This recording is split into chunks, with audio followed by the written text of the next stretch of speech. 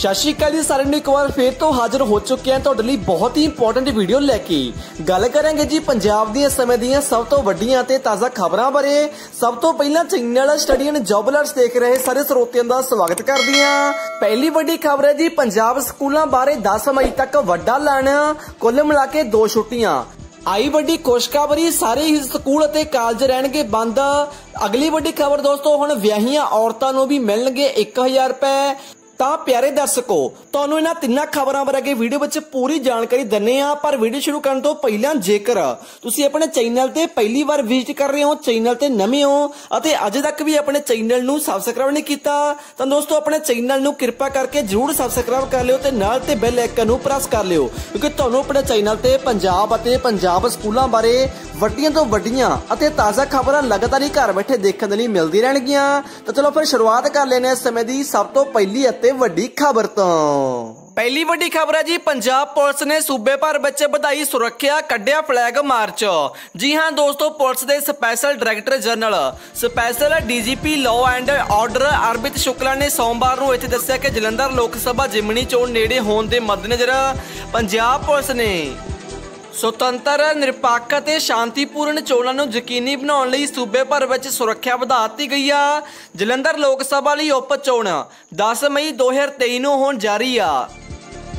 ਸੋ ਇਸ ਨੂੰ ਲੈ ਕੇ ਪੰਜਾਬ ਦੇ ਕਈ ਸ਼ਹਿਰਾਂ ਵਿੱਚ ਫਲੈਗ ਮਾਰਚ ਕੱਢੇ ਜਾ ਰਹੇ ਨੇ। ਅਗਲੀ ਖਬਰ, ਵੱਡੀ ਖਬਰ ਆ ਚੁੱਕੀ ਹੈ ਜੀ, ਦਲਿਤ ਵਿਦਿਆਰਥੀਆਂ ਵੱਲੋਂ ਵਜ਼ੀਫੇ ਦੀ ਮੰਗ ਲਈ ਧਰਨਾ, ਪੰਜਾਬ ਸਰਕਾਰ ਖਿਲਾਫ ਕੀਤੀ ਨਾਰੇਬਾਜ਼ੀ ਜੀ ਹਾਂ, ਪਿਆਰੇ ਦਰਸ਼ਕੋ, ਪੰਜਾਬ ਸਟੂਡੈਂਟਸ ਯੂਨੀਅਨ, ਸ਼ਹੀਦ ਰੰਧਾਵਾ ਦੀ ਗਵਾਹੀ ਹੇਠ ਸਥਾਨਕ ਰਣਵੀਰ ਕਾਲਜ ਦੇ ਦਲਿਤ ਵਿਦਿਆਰਥੀਆਂ ਵੱਲੋਂ ਵਜ਼ੀਫੇ ਦੀ ਮੰਗ ਲਈ ਜ਼ਿਲ੍ਹਾ ਭਲਾਈ ਦਫ਼ਤਰ ਵਿਖੇ ਰੋਸ ਧਰਨਾ ਦਿੱਤਾ ਗਿਆ। ਧਰਨੇ ਤੋਂ ਪਹਿਲਾਂ ਕਾਲਜ ਵਿਖੇ ਇਕੱਤਰ ਹੋ ਕੇ ਜ਼ਿਲ੍ਹਾ ਭਲਾਈ ਦਫ਼ਤਰ ਤੱਕ ਗਰਜਵੇਂ ਨਾਰੇ ਲਗਾਉਂਦਿਆਂ ਮਾਰਚ ਕੀਤਾ ਗਿਆ। ਜ਼ਿਲ੍ਹਾ ਭਲਾਈ ਅਫਸਰ ਦੀ ਗੈਰ ਮੌਜੂਦਗੀ ਵਿੱਚ ਦਫ਼ਤਰ ਦੇ ਕਲਰਕ ਨੇ ਮੰਗ ਪੱਤਰ ਪ੍ਰਾਪਤ ਕੀਤਾ। ਤੁਹਾਨੂੰ ਦੱਸੇ ਕਿ ਵਿਦਿਆਰਥੀਆਂ ਨੂੰ ਸੰਬੋਧਨ ਕਰਦਿਆਂ ਜ਼ਿਲ੍ਹਾ ਪ੍ਰਧਾਨ ਰਵਣ ਸਿੰਘ ਕਾਲਾਝਾੜ ਨੇ ਕਿਹਾ ਕਿ ਭਗਵੰਤ ਮਾਨ ਸਰਕਾਰ ਨੇ ਤਾਂ ਪਹਿਲਾਂ ਵਾਲੀਆਂ ਸਰਕਾਰਾਂ ਨੂੰ ਵੀ ਮਾਤ ਪਾਤੀ ਆ, ਦਲਿਤ ਵਿਦਿਆਰਥੀਆਂ ਸਿੱਖਿਆ ਦੇ ਹੱਕ ਨੂੰ ਤਰਸ ਰਹੇ ਨੇ, ਪ੍ਰਾਈਵੇਟ ਕਾਲਜ ਦਲਿਤ ਵਿਦਿਆਰਥੀਆਂ ਨੂੰ ਬੇਇੱਜ਼ਤ ਕਰ ਰਹੇ ਨੇ। ਪੰਜਾਬ ਦੇ ਖਜ਼ਾਨੇ ਨੂੰ ਨਾਕ ਕੁੰਡਲੀ ਮਾਰੀ ਬੈਠੇ ਵਿੱਤ ਮੰਤਰੀ ਦਲਿਤਾਂ ਦੇ ਵਿਦਿਆਰਥੀਆਂ ਲਈ ਇੱਕ ਪੈਸਾ ਜਾਰੀ ਕਰਨ ਨੂੰ ਤਿਆਰ ਨਹੀਂ। ਅਗਲੀ ਖਬਰ। ਜਲੰਧਰ ਜਿਮਣੀ ਚੋਣ ਨੂੰ ਲੈ ਕੇ 9 ਅਤੇ 10 ਮਈ ਨੂੰ ਜ਼ਿਲ੍ਹੇ ਦੇ ਸਾਰੇ ਸਕੂਲ ਅਤੇ ਕਾਲਜ ਬੰਦ। ਜੀ ਹਾਂ ਦੋਸਤੋ, ਜਲੰਧਰ ਵਿੱਚ 10 ਮਈ ਨੂੰ ਲੋਕ ਸਭਾ ਜਿਮਣੀ ਚੋਣ ਹੋਣ ਜਾ ਰਹੀ ਆ, ਜਿਸ ਦੇ ਮੱਦੇਨਜ਼ਰ ਪੰਜਾਬ ਸਰਕਾਰ ਵੱਲੋਂ ਗੈਰ ਸਰਕਾਰੀ ਸਕੂਲਾਂ, ਕਾਲਜਾਂ ਵਿੱਚ 2 ਦਿਨ ਦੀ ਛੁੱਟੀ ਘੋਸ਼ਿਤ ਕੀਤੀ ਗਈ ਆ।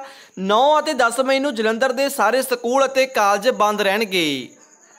ਇਸ ਸੰਬੰਧੀ ਜ਼ਿਲ੍ਹੇ ਦੇ ਡੀਸੀ ਜਸਪ੍ਰੀਤ ਸਿੰਘ ਨੇ ਆਦੇਸ਼ ਜਾਰੀ ਕੀਤੇ ਨੇ। ਤਾਂ ਪਿਆਰੇ ਦਰਸ਼ਕੋ, ਜਿਵੇਂ ਕਿ ਤੁਹਾਡੇ ਵਿੱਚੋਂ ਬਹੁਤ ਸਾਰੇ ਸਬਸਕ੍ਰਾਈਬਰ ਵੀਰਾਂ ਦੇ ਕਮੈਂਟ ਆ ਰਹੇ ਸੀ, ਤੁਸੀਂ ਲਗਾਤਾਰ ਹੀ ਮੈਸੇਜ ਕਰਕੇ ਪੁੱਛ ਰਹੇ ਸੀ ਕਿ ਸਰ ਦੱਸੋ, ਆਖਿਰਕਾਰ ਪੰਜਾਬ ਦੇ ਸਾਰੇ ਸਕੂਲ ਬੰਦ ਰਹਿਣਗੇ, ਸਾਰੇ ਕਾਲਜ ਬੰਦ ਰਹਿਣਗੇ ਜਾਂ ਫਿਰ ਕੇਵਲ ਜਲੰਧਰ ਦੇ ਹੀ ਸਾਰੇ ਸਕੂਲ ਤੇ ਕਾਲਜ ਬੰਦ ਰਹਿਣਗੇ?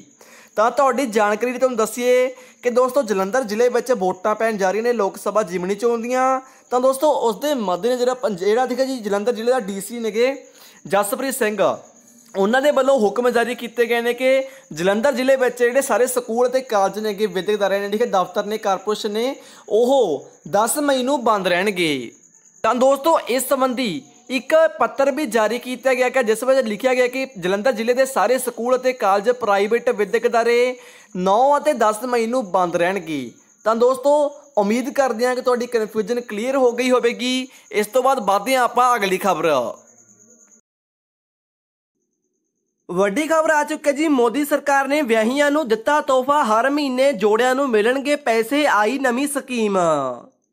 ਜੀ ਹਾਂ ਪਿਆਰੇ ਦਰਸ਼ਕੋ, ਕੇਂਦਰ ਸਰਕਾਰ ਵੱਲੋਂ ਇੱਕ ਵਿਸ਼ੇਸ਼ ਯੋਜਨਾ ਚਲਾਈ ਜਾ ਰਹੀ ਹੈ, ਜਿਸ ਵਿੱਚ ਤੁਹਾਨੂੰ ਹਰ ਮਹੀਨੇ ਪੈਸੇ ਮਿਲਣਗੇ। ਜੀ ਹਾਂ, ਸਰਕਾਰ ਦੀ ਸਕੀਮ ਵਿੱਚ ਵਿਆਹੇ ਲੋਕਾਂ ਨੂੰ 18500 ਰੁਪਏ ਦਾ ਫਾਇਦਾ ਮਿਲੇਗਾ। ਜੇ ਤੁਸੀਂ ਵੀ ਹਰ ਮਹੀਨੇ ਜ਼ਿਆਦਾ ਕਮਾਈ ਕਰਨ ਲਈ ਵਿਕਲਪ ਦੀ ਤਲਾਸ਼ ਕਰ ਰਹੇ ਹੋ ਤਾਂ ਪ੍ਰਧਾਨ ਮੰਤਰੀ, ਵਾਇਆ ਬੰਦਨਾ ਯੋਜਨਾ, ਯਾਨੀ ਕਿ ਪੀਐਮਵੀਵੀਵਾਈ ਸਕੀਮ ਤੁਹਾਡੇ ਲਈ ਬਹੁਤ ਫਾਇਦੇਮੰਦ ਹੈ।